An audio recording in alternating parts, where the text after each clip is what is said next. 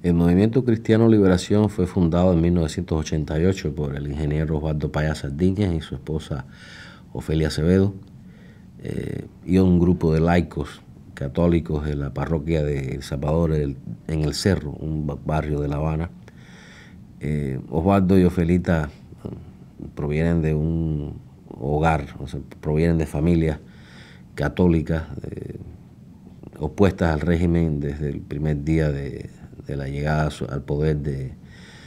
en 1959. Osvaldo es un católico comprometido, fue llevado a campos de trabajo forzado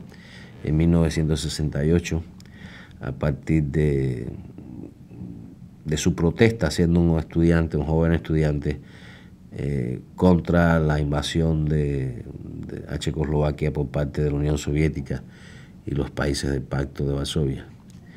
Eh, fue expulsado del centro de estudios, fue llevado por tres años a campos de, trabajo forzado en, Isla de Pino, Camagüey Las Villas.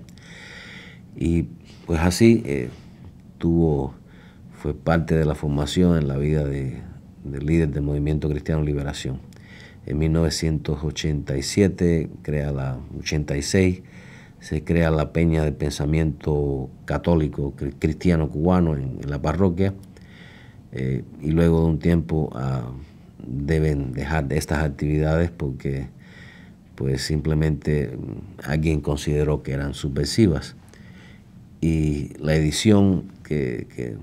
se, que se hacía ahí de un pequeño boletín muy modesto eh, titulado Pueblo de Dios, también hubo de pararse durante un tiempo. Pueblo de Dios era uno, de los gérmenes de lo que después fue el periodismo independiente cubano. Pero ya en 1986-87, eh, a través del Pueblo de Dios, este grupo de laicos católicos comprometidos, eh, pues daban sus puntos de vista críticos y contestatarios respecto al régimen. En 1988, como decía, se, funda el movimiento por parte de Osvaldo y un grupo de laicos católicos y desde entonces hasta, hasta hoy pues ha mantenido eh, una lucha eh, por los derechos de los cubanos a partir de insistiendo mucho en,